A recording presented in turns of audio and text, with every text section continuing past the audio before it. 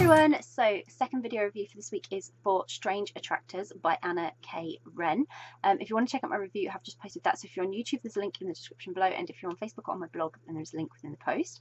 And this is the video review, so Strange Attractors by Ana K. Wrenn. Super intriguing and absolutely fantastic. Um, Sonia, who is a professor with very big ambitions, um, they're just within her grasp and she finds life starts to really throw things into chaos, which is just, you know, so relatable. This always happens, doesn't it? You just think you're getting what you need, and then life just throws you a curveball because it's just mean like that.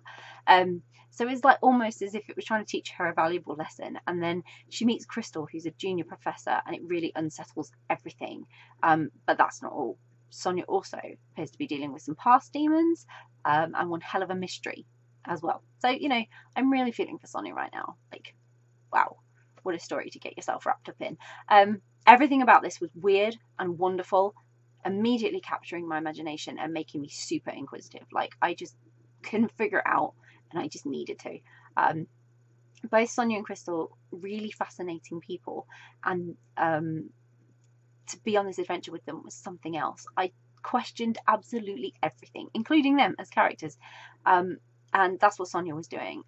There were moments where I was as unsettled as Sonia was. I was really like, this is so weird. And then there was others where I was like, yeah, it's easy to understand why she felt like she was coming out of her mind. This stuff was crazy.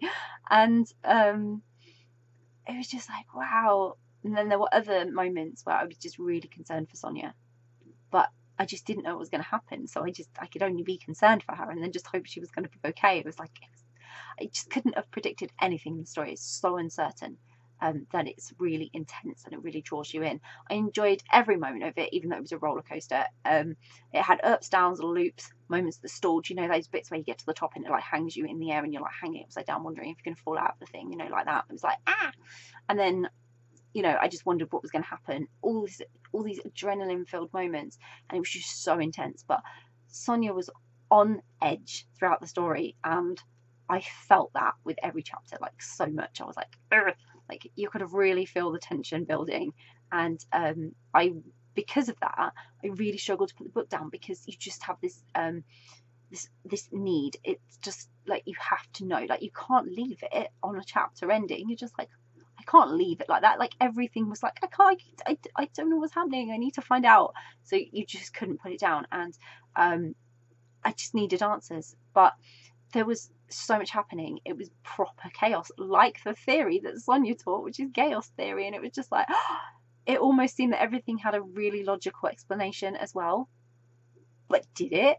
Like, you really think you can apply logic to everything, but can can you? Like, and I understood like why she was then she was she was just uh, questioning everything, and it was translated right through to me as the reader, and completely unprepared, along for the ride. Whatever happened to Sonia here, because just wasn't getting anything else to know. Um, so yeah, it was crazy in that respect, but it was really good. It's really exciting not to have those snippets and not to really understand, to be questioning everything. Really then in Sonia's shoes and experiencing like this, uh, you know, like like she did, and it really gave Ana a chance to explore the vulnerabilities of such a complex personality and mind that she'd given to Sonia as a character. So that also was really fascinating. Sonia's a really smart person, and yet she's driving herself crazy over things that should have a logical explanation. Probably do have a logical explanation, but in that moment, just don't have a logical explanation. It's crazy. And I just loved every moment of it. Um, each piece of this started to unravel and then questions became answered slowly. And i was so happy that sonia had the chance to experience love with crystal and to trust someone and finally have something she'd not had before as well. Um, it really strengthened their connection um, everything that was happening to her. So a brilliant story. The first time I've read anything by Ana K. Wrenn, and certainly not the last. I was really into this and really enjoyed every minute. So I hope you will too. Um, I'll pop a link in the description uh, so you can go and grab a copy of Strange Attractors by Ana K. Wrenn, which I really, really hope you will. If you've read Strange Attractors, uh, it would be great to um, know what you thought of it and how you found the experience. So please do comment and share below. Um, if you haven't read it yet, but it's on your to be read list, you're planning to read it, or you're now super intrigued and thinking, I have to read that book, um, again, please share because it's always great to know what you are interested in reading. And if you do read it, um, even though it's really, really intense, I hope you have a great time reading it. Bye!